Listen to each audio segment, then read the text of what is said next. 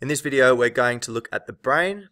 We're going to look at the structure and function of the brain, including the three different parts, the hindbrain, midbrain, and forebrain. Uh, we'll then look at the four different lobes of the brain and talk about different brain function that occurs in those different lobes with an emphasis on the areas that are used for communication. Uh, so firstly, the hindbrain. This is sometimes referred to as the ape brain, uh, and this is because it's in charge of those generally lower order processes. Still vital bodily processes like breathing and balance, uh, but lower order in uh, the brain power or the cognition that goes with it. Uh, and the hindbrain consists, it's at the base of the brain and at the back, uh, consisting of the cerebellum, the medulla oblongata, and the pons. Uh, and you can see this is the spinal cord here, front of the brain this side, back of the brain this side.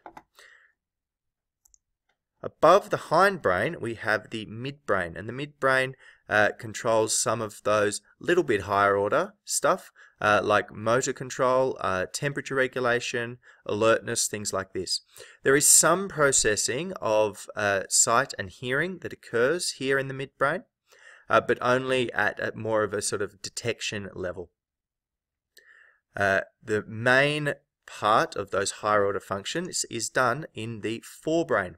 Now the forebrain consists of two hemispheres, so we have the left and right hemisphere, and these are joined at the center at the corpus callosum. So you can see there's actually quite a large gap between these two hemispheres. It's only at the corpus callosum that the left and right hemisphere actually talk to each other.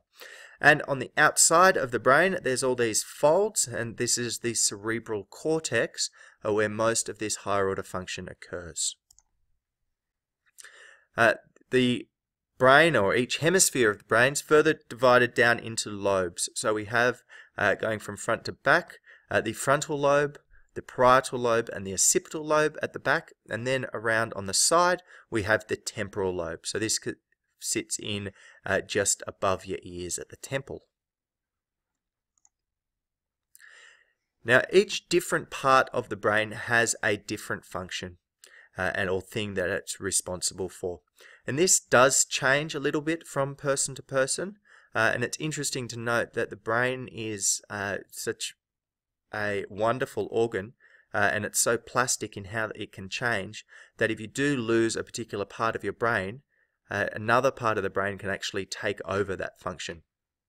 Uh, and that's actually how we know a lot about, or uh, a fair bit of the stuff that we know about the brain function uh, through both looking at injuries that damage a particular part of the brain, uh, as well as looking at scans of when you're actually doing something, which bits of the brain are being used. Now, two areas that we need to know about for communication are Broca's area, and Broca's area is on the frontal lobe and it's usually on the left side for most people. Uh, and this area is the one that controls uh, basically the muscles in the mouth uh, as well as a little bit of that breathing uh, so that it can uh, control speech and articulation and actually making speech. Uh, Wernicke's area is around on the temporal lobe, uh, and this is important for interpreting language. So as I said before, that midbrain does that sort of rudimentary uh, interpretation of sight and sound. Uh, in the forebrain here, in Wernicke's and Broca's area, we're getting that higher order uh, communication happening. In this video, we've looked at the structure and function of the brain. We've talked about the hindbrain or monkey brain being in control of those uh, essential bodily processes, uh, the midbrain, which is a little bit higher order uh, in the things that it deals with, including the detection of sight and sound, uh, and in particular the forebrain, which is that higher order thinking. We've talked about the four different lobes of the brain, being the frontal, parietal, occipital, and temporal. And we've talked about some of the different functions that occur in that forebrain. Uh, in particular, we've talked about Broca's area for speech articulation and Wernicke's area for interpreting language. And this brings us to the end of the HSC course. Uh, it's been rad, guys. Thanks for watching. Peace out forever.